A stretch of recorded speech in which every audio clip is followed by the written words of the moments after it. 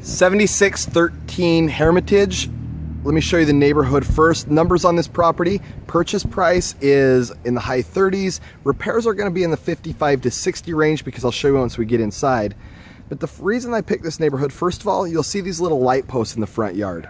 That's a sign in Chicago of a high quality neighborhood. Now Chicago's an area that's very hard to flip from afar. If you're not gonna be here a lot, it's a really difficult place. Contractors are really difficult. Um, neighborhoods change from block to block extremely quickly and just a map won't tell you anything. But those street lights are a first indication of a neighborhood where the, the homeowners have taken ownership, they've all got together, they voted to have them put in, and they've all paid for it. So there's some obviously obvious love that needs to happen to the front of this property. The windows are still, still fairly new. I'll take the exterior first.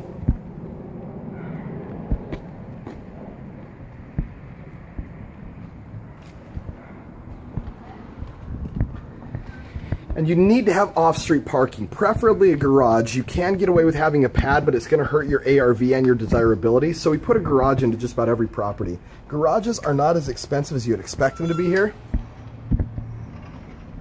So you'll see there's a pad here, but there's not a garage. So your pad we're going to expect to run us about six grand for a garage, excuse me, since the pad is here. If it wasn't, it'd be closer to nine grand with permits and everything. It'll only take about a day and a half to go up. The back of the house, the back of the house is not expected to be brick.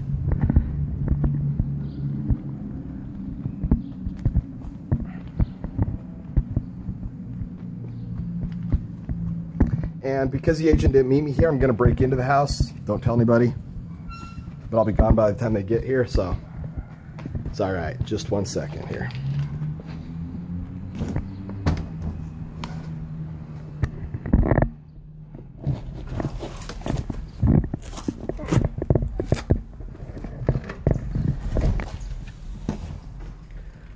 Little dark and dungeon-esque in the basement. We might as well walk it since we're here. This basement's gonna be cleaned up. There is a sump pump, very normal here, um, but it's still fairly dry. I don't see any seepage through the walls. There's a little mold back here by the utility room.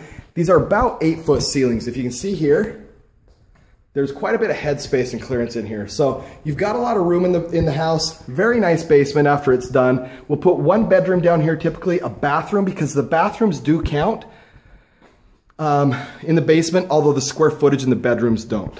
We'll want to reroute the stairs to give some clearance so the stairs run, run uh, off to the one area off to the, that direction. So they're not quite as steep and so that they don't run right into a wall.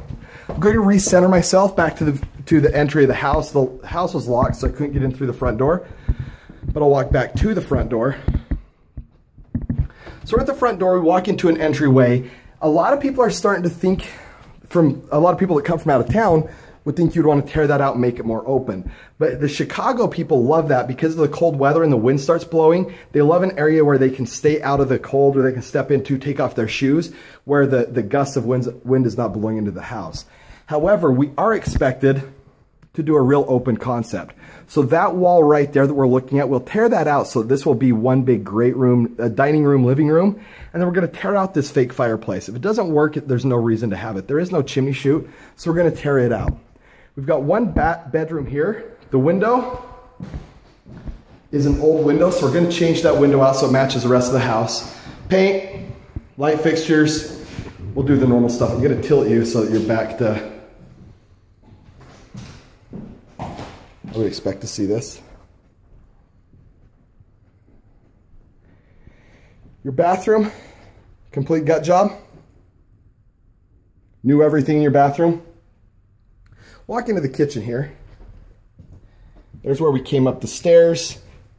There's a big pantry. We're going to leave the pantry. And then here's the kitchen. Of course it needs a new kitchen.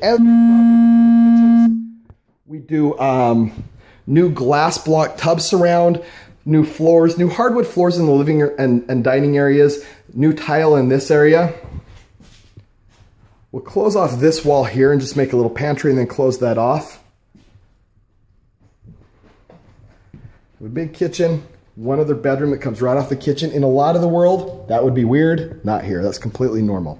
So we have two bedrooms here on the main level. The bedroom in the basement doesn't count. We need to have at least three bedrooms. So I'm going to take you up some stairs here. First, we need to we need to make those stairs come out into the living area just a little bit because they're too steep right now.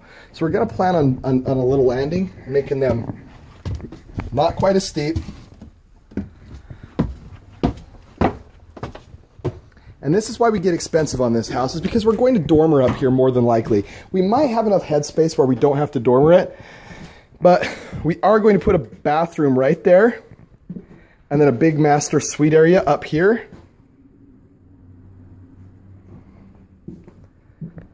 And finish that off. So there's one bedroom up here, two bedrooms on the main level, master suite with a huge walk-in closet over on that side, or two bedrooms. We can also put a bedroom there and a bedroom here and a bathroom right here. So we have two bedrooms upstairs, two on the main level, one bathroom in the basement. It's going to be a four bedroom, three bath house. We may have to dormer this attic up here. If we dormer the attic, um, we're going to add about $6,000 to the budget. But if we don't, we really could get out of here for in the in the $50,000 range.